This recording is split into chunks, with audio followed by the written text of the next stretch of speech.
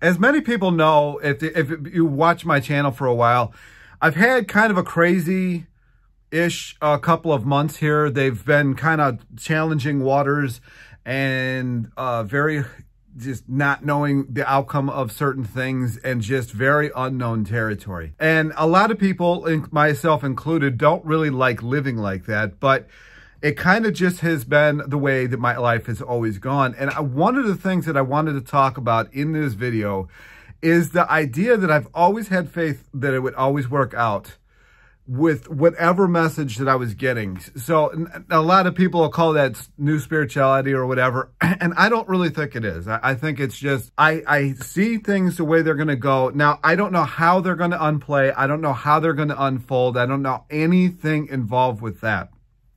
And that is a very hard thing for a lot of people to wrap their hands around. It's like you got to see it before you can believe it. But in this case, you got to believe it before you can see it kind of they talk they talk about that in this little booklet here uh, calling things that are not and and it, this is what jesus used to do and and god did to create the planet the planet he created the planet just by words alone right? That you know he spoke it into existence.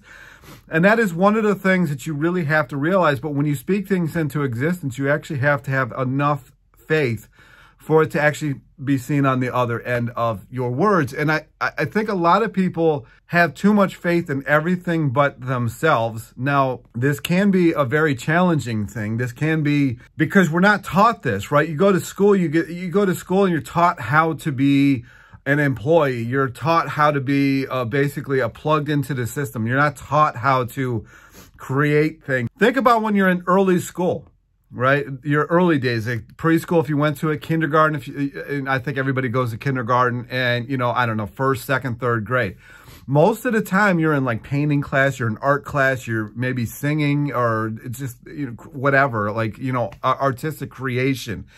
But comes there comes a point around, I think, fourth grade or fifth grade or somewhere in there, if you're in America anyway, that all of that's cut out if you go to art class, it's thought of as kind of weird. You're never going to make a living at it.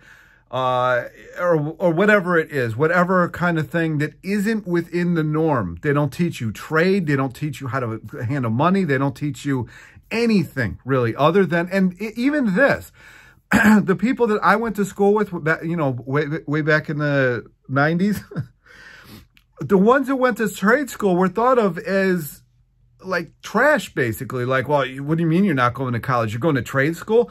Meanwhile, the trades make way more money most of the time than the people who go to eight year uh, eight eight years of college. You have to erase a lot of what you're taught in these institutions. I mean, if you really look at it, it's a 12 step program, just like anything else. Now, I'm gonna not gonna go where the 12 step program came from in this video, but think about all the programming he had. Even TV is called programming. Everything, or like a, a guidebook is called a program. Everything is programming you. Everything is watch this over here. Uh, you know, the, the, uh, the elites do this over here. It's all about removing that idea of having faith within yourself and the idea of, you know, the Bible's back here, the Bible literally tells you what to do, but it's erased, they erase this stuff from your memory and a lot of the gospels and the books are taken out. Know that you can create this stuff, but you got to have enough faith within you to actually create it. Like Jesus said, if, if you had a, a, a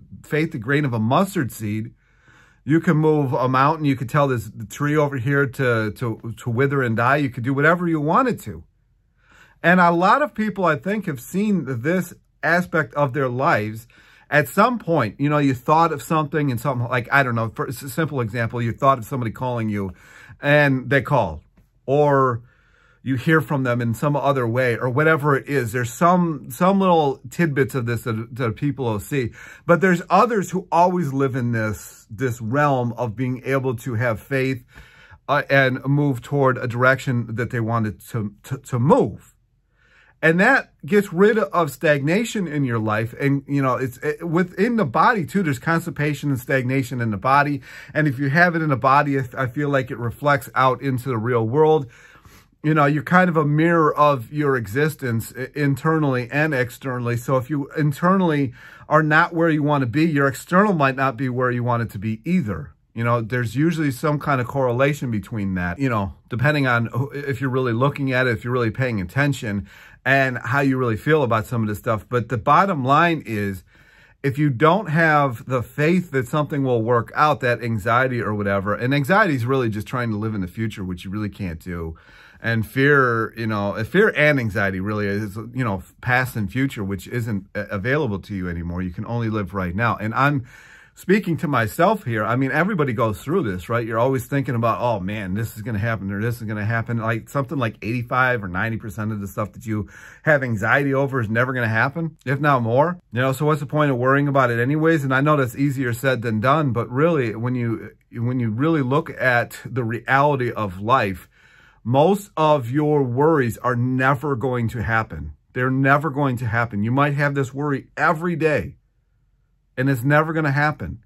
You might have this worry every day and it does happen, you know, but most of the time, like that 85% of the time, it is not going to happen.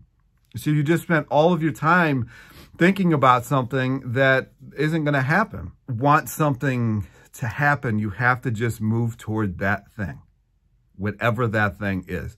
Have faith, even if the craziest stuff happens, even if you get roadblocks, even if you get all kinds of things telling you that this, you know, that, that you're not going to achieve this or whatever. If it is something that you want to do, you have got to go for it. And even if you've got to fake it, lie to yourself until you make it, you've just got to get that done. And I, this video is for me too. You have to just fake it till you make it because until the brain waves and everything else match each other, it's just never going to happen. It's just never going to happen. And I'm not talking about, you know, becoming wizards and stuff like that. I'm just talking about seeing something, seeing what you want to do. It, you know, the one of the worst things I think we all can do is complacency. Doing the same thing every single day. You know, it's just not that great of a thing. One of the best things that can happen to most people is getting fired from their job or losing something. Because it causes you to to change in some way. And a lot of people, this is the only reason that you're going to lose a job or a relationship or something like that, is because it just was too comfortable. It was too stagnated. It was not going to grow in any capacity.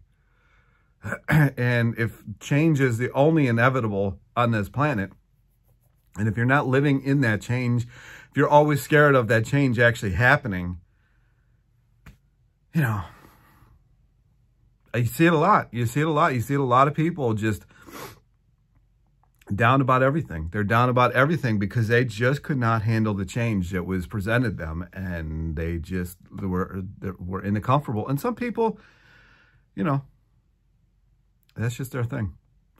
But for the most of us, well, for some some percent of us, that, that you know, change is, is inevitable and you just got to live with the, the ebbs and flows of, of living with it, you know, just getting to where you want to go. Anyway, that is the video today. Just really think about this stuff. Now, I'm not huge into mantras. I, you know, I've, I've talked about them in the past. I think that can get dangerous. I think that can open up portals that you don't want.